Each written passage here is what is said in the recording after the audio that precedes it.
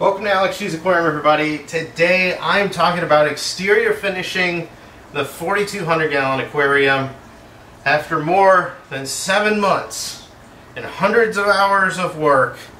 And finally say exterior finishing is completed by far of any single part of this build the exterior finishing was the most labor intensive part.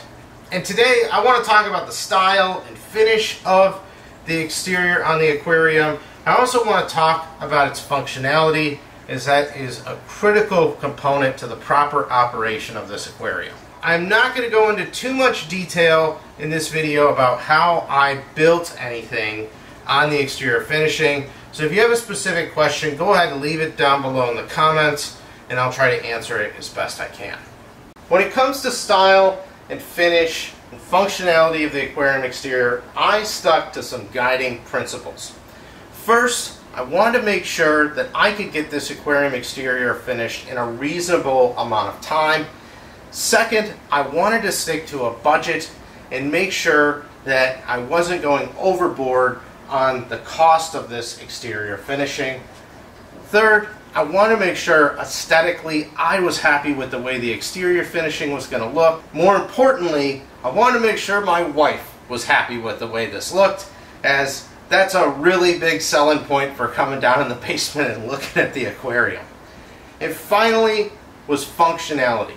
No matter what I did with the exterior finishing, I couldn't compromise the necessary functionality. Now the first thing I needed to do was choose the materials for the exterior and I wanted to stick with materials that were locally available at a Home Depot or a Menards and then also utilize any material I might have on hand from the build. I've also had some other lumber that I've had for many, many years, and I wanted to be able to repurpose some of that if possible. It helped me cut down significantly on cost. So for materials, I think first thing I needed to do was get the main canopy door panels figured out. Now there's 11 of them in total. For these I went with half inch birch plywood and used them on all the top canopy panels. I also use half inch birch plywood on the bottom seal beam covers on top and along the back of the aquarium where I have all of my plumbing and ventilation set up that also has been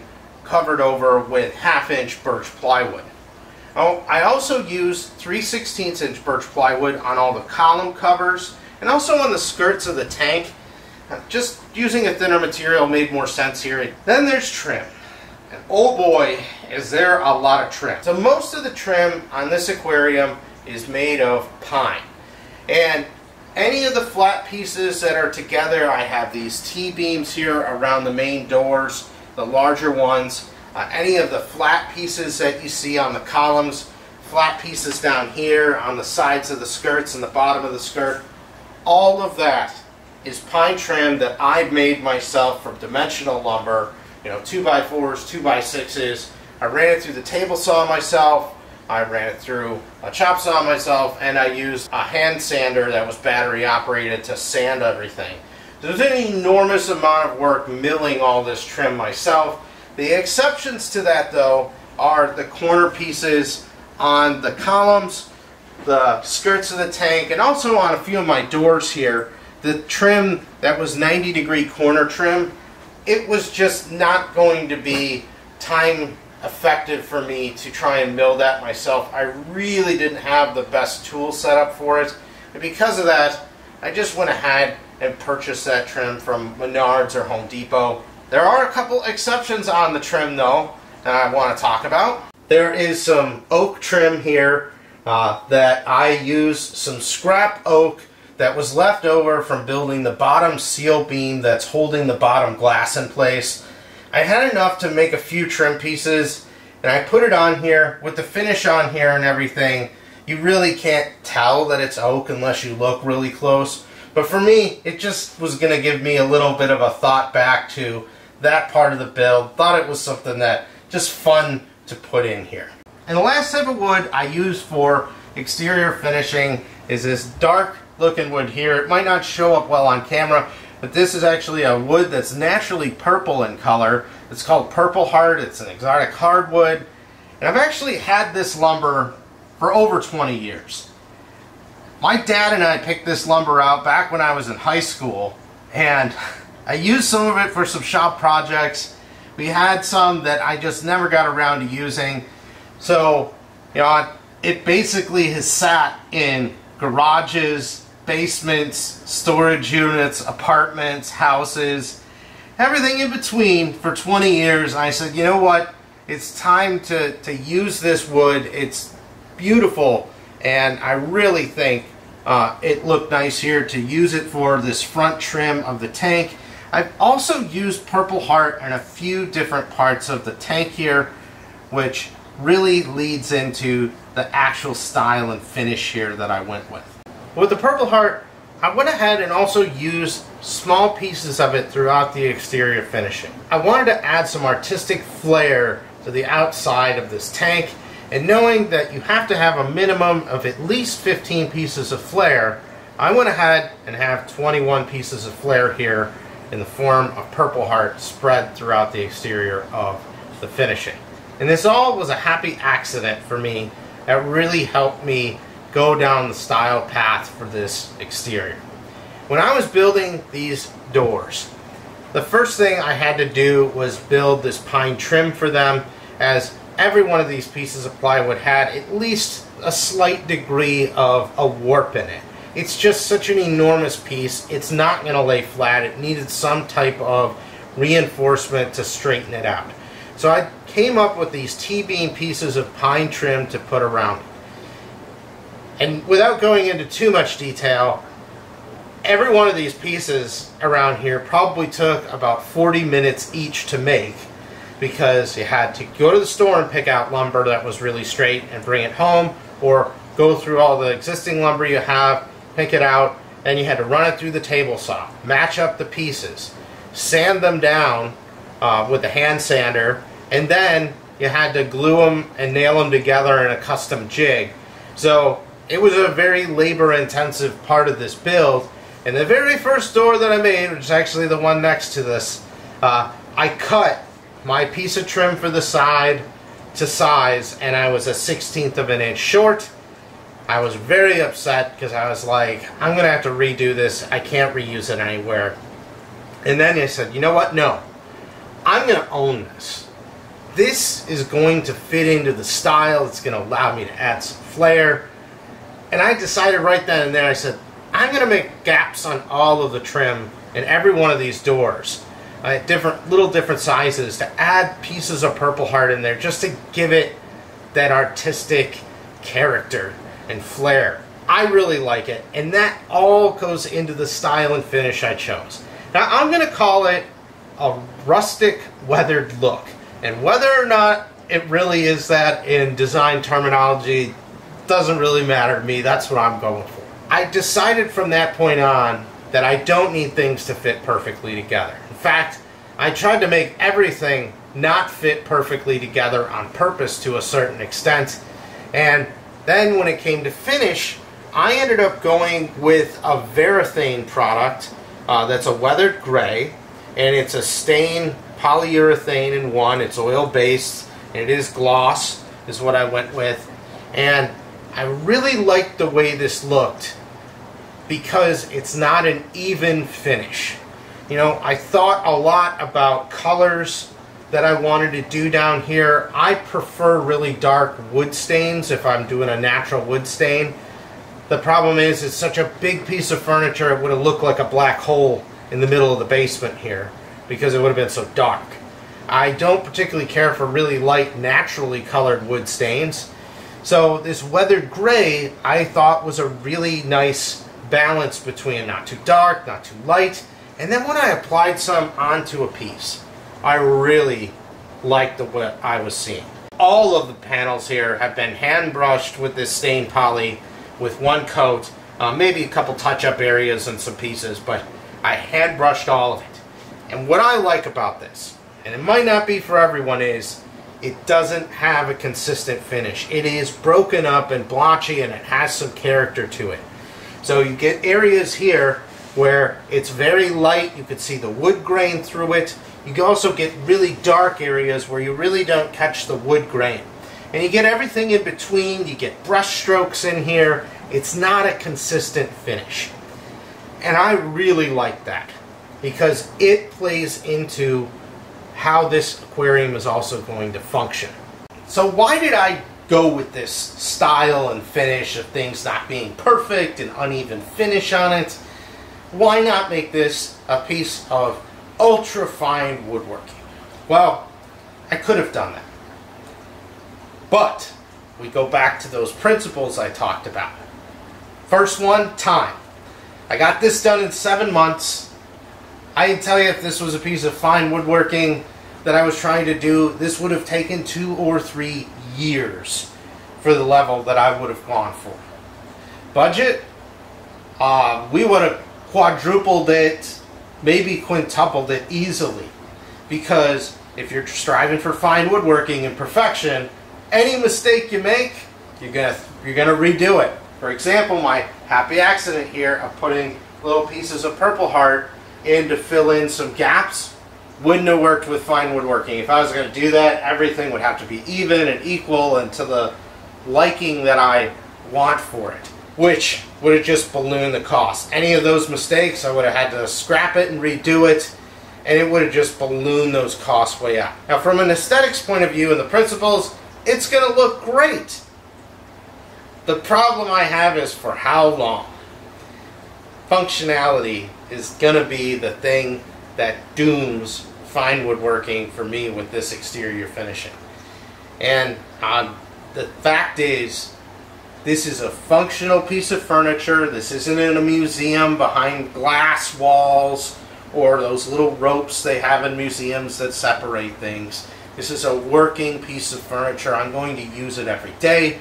It is a saltwater aquarium, which is one of the harshest substances out there for furniture. It eats things. There's going to be splashes. There's going to be spills. There's going to be scratches and boo-boos that happen. Matter of fact, I didn't even have the exterior finishing fully done with all its trim. And I'd already made a few boo-boos on it with little scratches. I dripped some glue on it, which lifted up some of the stain.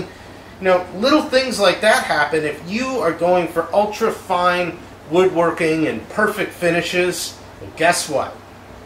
Those things happen, your perfect finish is now garbage. And you get to redo it again. And I just look at it and go, I've already had to do some touch ups. And with this stained poly in this weathered gray and being a broken up uneven finish here, I just get the brush and just do a couple quick brush strokes and it's done. And you won't even know that it's there because it's how the whole finish looks in the first place.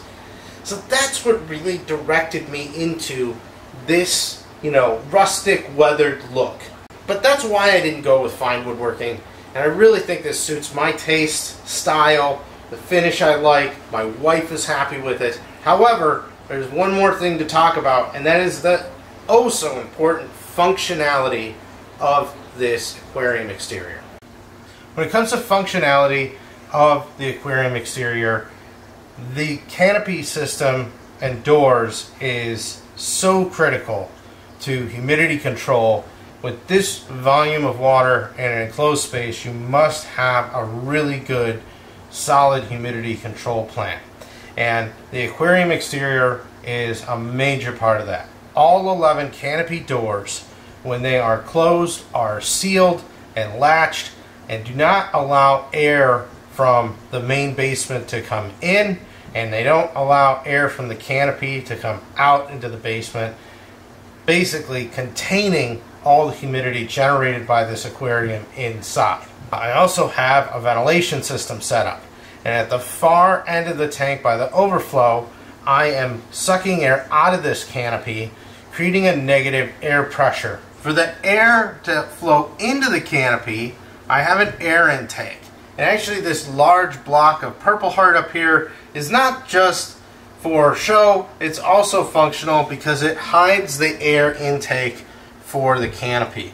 And I just have some basic furnace filters up here now, but with the air being sucked out of the canopy on the far end, air from the main part of the basement gets pulled in here. That is very important to this humidity control system, and I'll have more videos on it in the future, But that is the primary function of these canopy doors is to keep humidity control working as it's supposed to. Now, for this aquarium canopy, I've got a couple different styles of doors. The first style of door I have is on the front of the tank here, a little shorter door. There's four of those in total. These are made shorter due to either house structure being in the way or for plumbing and ventilation ducting. The first thing you'll notice with this is that each one of these doors has got foam all the way around it. And this is uh, HVAC weather seal foam and use it in things like windows. And this foam being all the way around when the door is closed and latched, it slightly compresses this foam. Now it's an open cell foam so water and air technically can go through it. However, when it's compressed, you know, air and moisture are going to look for the path of least resistance. So as long as there's an easier route for that to flow, it's not going to come through here. And so far it is working as it's expected to by keeping the humidity generated from this aquarium inside the canopy. So each one of these doors uh, has door latches. Some of these I just use little sliding latches and cut a little piece of steel off so they slide straight. They're all coated with two coats of Pond Shield epoxy, just like the bottom of the tank is for waterproofing, so everything in here has been moisture proof. The other important thing is all these doors have some form of gas strut on them. This is a 40 pound gas strut here. Uh, all the doors use these except for one on the very far end by the overflow box. That just uses a couple smaller versions of this. And this opens up the door really nicely on these smaller doors, opens them no problem. The only thing I had to do because this is such a powerful uh, gas strut. I did have to make an, a custom aluminum plate here with some stainless steel screws and I bolted it to this plate because literally uh, it was ripping the screws out because this is such a, a small door it doesn't even allow this gas strut to fully open. Just something I had to do on these on three of the four short doors. The last style of exterior canopy door I have are the big ones. There are seven of these in total. These are the main canopy doors. And very similar to the short ones, they're all sealed with weather foam. Uh, with these, the gas struts don't allow the doors to open quite all the way. And they're a much heavier door and larger, and they don't really need to open all the way. You can see I have plenty of room to work in here if I gotta feed the fish or do anything uh, inside the tank that's just minor maintenance. I can do it just fine. And if I need to slide the equipment rack out, I can open up these doors all the way to get full clearance of the lighting and equipment racks. Now, if you follow me for a while, you'll know these lighting and equipment racks too, they do fully extend out. However, I didn't design them to do that without some type of stanchion post to support their weight. So if I do need to do that work, I'll have a stanchion that'll hold up the door and the lighting and equipment rack while I'm working on it. So just real basic things here uh, that were considered. I made the doors as high as I could to maximize my access in here. You can see the foam is around here just as the other doors all the way around. But I have easy access to everything in here and into the tank. One thing I do have that's a little different here is the door latch style I went with. These are like security uh, latches that I use and they just go into a little receiver on the door side here. I originally had these hooks on the door side and the receivers over here and it was just a nightmare to try and get them to latch because you had to just get this just right to slide in. So now that I've reversed all of them, uh, it's real easy to do. It just takes a couple of fingers to kind of line it up and put it in. And it, it's real easy to latch each one of these doors now. Uh, so I thought this is a great way to do this. And again, we're slightly compressing this foam when the door is closed to make an air seal here. And I also tried to keep all the hardware for the door, my gas struts where I can, uh, out of the interior of the tank so they're not exposed to all this humidity. So the main thing about these canopy doors is one, they're part of the humidity control system, and two, they're here for access and ease of use. So far, I'm really happy with the way this turned out. These doors can be opened and closed in a few seconds with these latches, and they're in there nice and secure. and you can't see any of that when the doors are closed. So that is the functionality of the canopy door system. However, there's one more piece of functionality on this aquarium exterior that I want to talk about. The last piece of functionality I want to cover today is the bottom skirt sections of this tank. For all the exterior finishing on here, I tried to think about functionality and the one challenge I was thinking of with the bottom of this tank is how do I make this to where it still will give me access underneath the tank if I need it. Now I don't have any plumbing or ventilation or anything under there that needs to be worked on, but I still want to be able to get under the tank to look and do some inspections from time to time to make sure we don't have a problem forming that I'm not aware of. So in order to do that, I made every one of these sections removable. It makes it real simple for me to be able to just pull the bottom section of the tank off. I can easily do an inspection. If I have to do a repair, it'll be real easy here.